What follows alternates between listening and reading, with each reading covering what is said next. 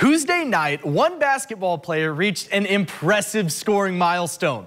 No, I'm not talking about LeBron James breaking the scoring record. I'm talking about Rhinelander's Ava Lamers reaching 1,000 career points. Newswatch 12 Serenity Douglas was there to catch up with the newest member of the 1K Club.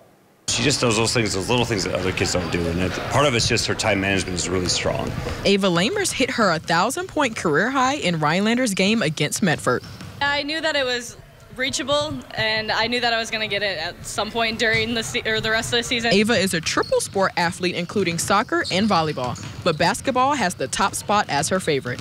Uh, Basketball has definitely like made a big jump in the last year or so, just due to coaching and teammates and AAU. But what makes Ava different from the rest of the team that has led her to achieve a goal like this? The unseen hours. Ava's one of those kids. She's a three-sport athlete.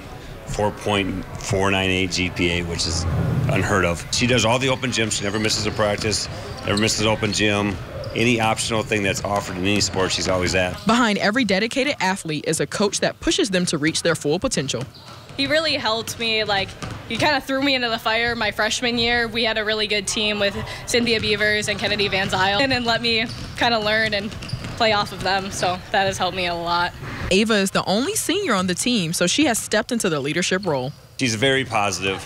Uh, she, she takes it upon herself to get everyone feel included or be special part of the team. So it doesn't matter if you're a freshman that's never played before, a junior, uh, my youth kids, uh, everyone knows who Ava Lamers is. When that thousand point was made, Coach Clark called a timeout to celebrate with Ava, but she was still concentrating on the game.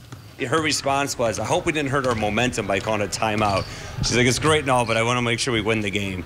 And uh, I'm like, it's okay, Ava. I think it's okay for us to take a little moment to recognize what you've accomplished, and then uh, we'll make sure we win this game for you as well. The Hodags are scheduled to take on Lakeland Union tomorrow night at home. Reporting here in Rhinelander, I'm Serenity Douglas, Newswatch 12.